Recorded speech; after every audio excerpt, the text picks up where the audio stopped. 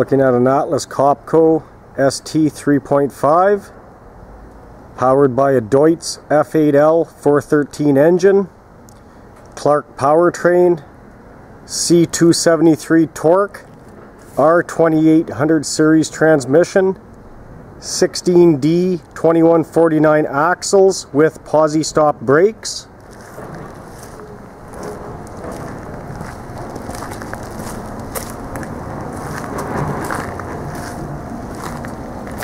Seventeen five twenty five tire size.